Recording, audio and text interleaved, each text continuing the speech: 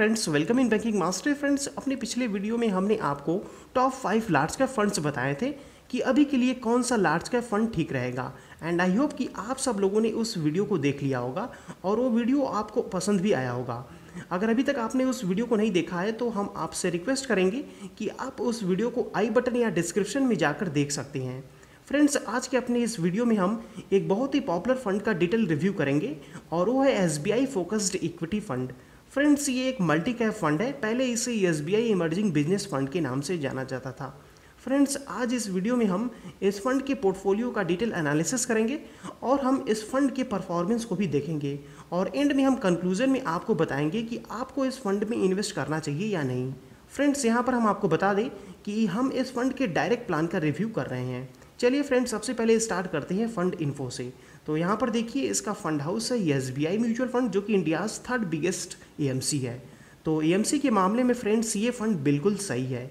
Scheme type है, इसका open ended investment objective की बात करें तो इसका इन्वेस्टमेंट ऑब्जेक्टिव है long term capital appreciation by investing in concentrated portfolio of equity and equities related securities class है इसका इक्विटी कैटेगरी है इसका लार्ज कैप लॉन्च डेट है इसके डायरेक्ट प्लान का फ़र्स्ट जनवरी 2013 और इसके रेगुलर प्लान का जो लॉन्च डेट है वो है 11 अक्टूबर 2004 अब यहाँ पर फ्रेंड्स आप देख सकते हैं कि लगभग 15 साल पुराना है ये फंड इसका मतलब कि इस फंड ने मार्केट के सारे अप्स एंड डाउन्स को जो है देखा है, जो कि फ्रेंड्स बहुत ही अच्छी बात है। बेंचमार्क की बात करें तो इसका बेंचमार्क है निफ्टी हंड्रेड टी एन है इसके ग्रोथ प्लान का rupees one hundred fifty three point seven five और इसके डिविडेंड प्लान का एन है rupees thirty seven point four six अब friends growth and dividend plan के बारे में तो आपको पता ही होगा कि ग्रोथ प्लान में आपका पैसा इन्वेस्ट होते रहता है, उसमें से आप पैसा निकालते नहीं हैं। वहीं डिविडेंड प्लान में आपको आपके इन्वेस्टमेंट के बदले कुछ अमाउंट मिल जाता है। ए है इसका rupees four thousand six hundred thirty four crore इस फंड को मैनेज कर रहे हैं आर श्रीनिवासन, जो कि जनवरी 2013 से इस फंड को मैनेज कर रहे हैं। एक्सपीरियंस की बात करें इनके तो ये एसबीआई को ज्वाइन करने से पहले principal P N B M C Oppenheimer and company Indosuez Y Carr और मोतीलाल ओसवाल जैसे बड़ी और अच्छी फर्म के साथ काम किया है इन्होंने। इस फंड के अलावा ये S B I equity hybrid fund S B I small cap fund S B I tax advantage fund और S B long term advantage fund को जो है ये भी मैनेज कर रहे हैं। तो फ्रेंड्स यहाँ पर हम देख सकते हैं कि फंड मैनेजर के पॉइंट ऑफ़ व्यू से यह फंड काफ़ी अच्छा है। अब चलिए इन्वेस्टमेंट डिटेल्स को देख लेते हैं। तो इसमें यहाँ पर आप देख सकते हैं कि minimum S I P five hundred से आप इस फंड में कर सकते हैं। लमसम की इन्वेस्टमेंट की बात करें तो लमसम आप इसमें फाइव थाउज़ेंड से कर सकते हैं। बात करें एक्सपेंसेस की तो इसमें डायरेक्ट प्लान का इसका एक्सपेंस रेशियो 1.23 परसेंट है और रेगुलर प्लान का इसका एक्सपेंस रेशियो 2.03 परसेंट है।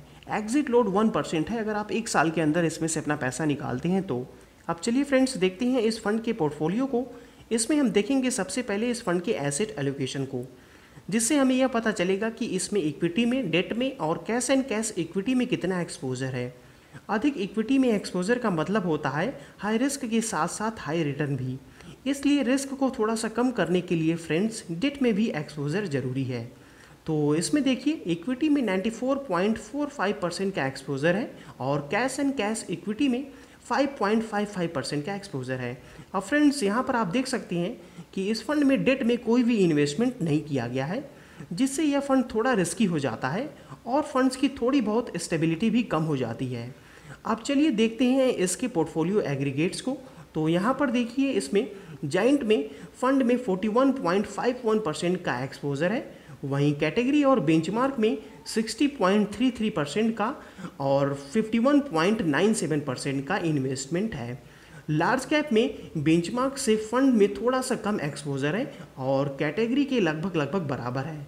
फ्रेंड्स वीडियो को पॉज करके भी जो है, आप इन सारे डेटा को आराम से देख सकते हैं, ताकि आपको समझने में कोई भी परेशानी ना हो।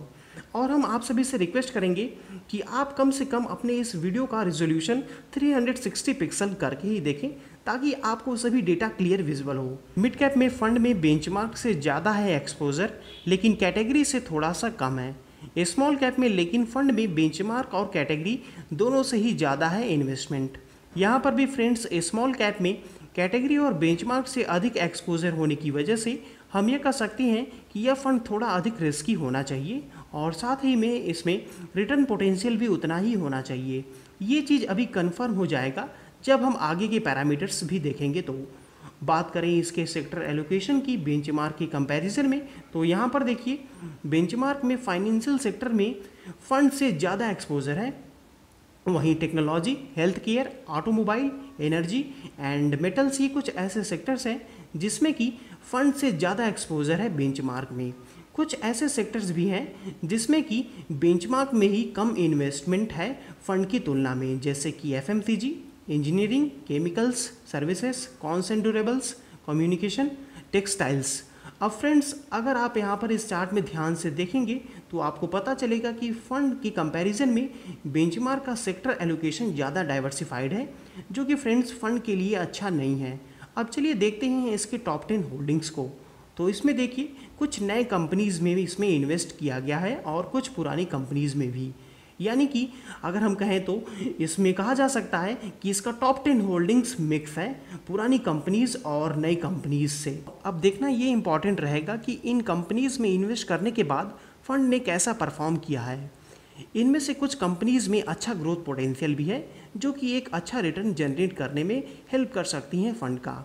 अब हमारा नेक्स्ट पैरामीटर है कंसंट्रेशन एंड वैल्यूएशन तो इसमें टोटल नंबर ऑफ़ स्टॉक्स 25 है टॉप टेन स्टॉक्स का कंट्रीब्यूशन 51.53 परसेंट है, और टॉप थ्री सेक्टर्स का कंट्रीब्यूशन 59.20 परसेंट है।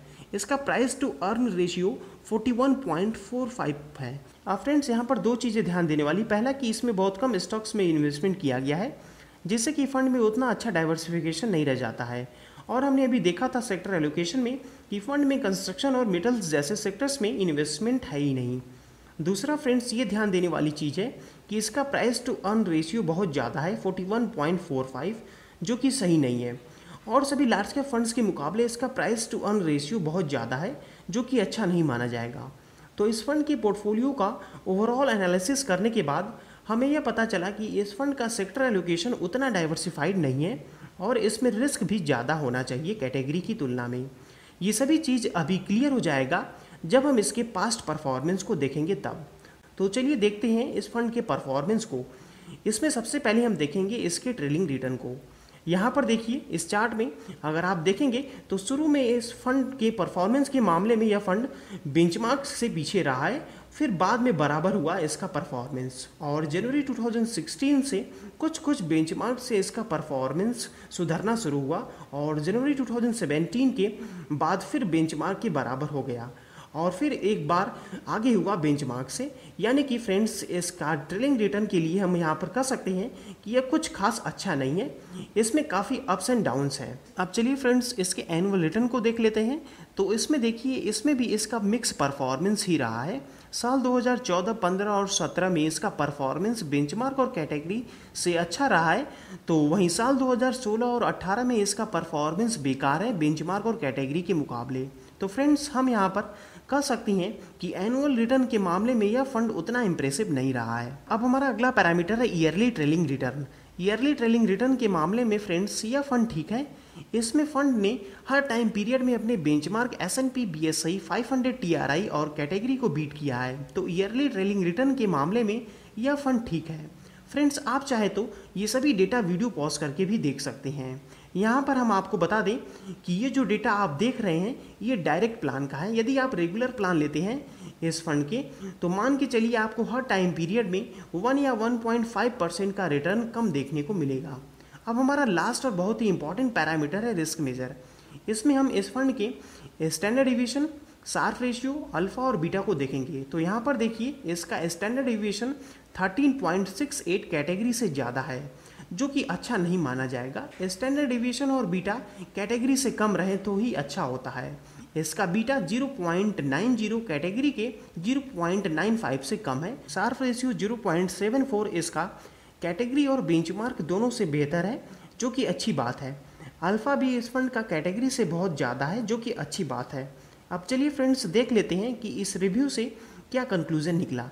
देखिए फ्रेंड्स, इस फंड का डिटेल रिव्यू करने के बाद यही कंक्लूजन निकला है कि इस फंड में रिस्क और रिटर्न दोनों के मामले में यह फंड कैटेगरी से आगे है, जो कि फ्रेंड्स उतना अच्छा नहीं माना जाएगा। क्योंकि मल्टी कैप कैटेगरी के कुछ इससे भी जो है अच्छे फंड्स हैं। जिसमें कि आप अपने पैसे को इन्वेस्ट कर सकते हैं। हमने कुछ मल्टी कैप फंड्स का रिव्यू भी किया है। आप चाहें तो वीडियो के डिस्क्रिप्शन में जाकर उन वीडियोस को देख सकते हैं। फ्रेंड्स इस फंड को ना कंसिडर करने का कई कारण है। अभी आपने देखा कि एनुअल रिटर्न ट्रेलिंग रिटर्न और सेक्टर एलोकेशन के मामले में यह फंड उतना अच्छा नहीं था। इसलिए हमारी राय होगी कि अगर अभी तक आपने इस फंड में इन्वेस्ट नहीं किया है तो आप इस फंड में इन्वेस्ट ना करें। कोई और मल्टी कैप फंड सेलेक्ट करें। अगर आप स्पेशली एस के ही मल्टी कैप फंड्स में इन्वेस्ट करना चाहते हैं तो आप इन्वेस्ट कर सकते हैं। अदरवाइज़, इससे भी कई अच्छे फंड्स हैं। अब जो लोग पहले से इस फंड में इन्वेस्ट कर रहे हैं, वे लोग इसमें बने रहें। इस फंड में ग्रोथ पोटेंशियल अच्छा है और यह आगे चलकर एक अच्छा रिटर्न दे सकता है। सो फ्रेंड्स आई होप कि आपको यह वीडियो पसंद आया होगा। अगर आपको यह वीडियो अच्छा लगा हो तो इस वीडियो को लाइक करना ना भूलें, ताकि हमारा मनोबल बढ़े ऐसी वैल्यूबल वीडियोस बनाने के लिए। चलते चलते आप हमें कमेंट करके बताइए कि आप इस फंड में इन्वेस्ट कर रहे हैं या नहीं, या आप आगे किस फंड में इन्वेस्ट करने वाले हैं, हम आप सभी के कमेंट्स के जवाब देने की कोशिश करेंगे। इस वीडियो को देखने के लिए आप लोगों का बहुत बहुत धन्यवाद। फिर मिलते हैं ऐसी किसी वीडियोज़ में।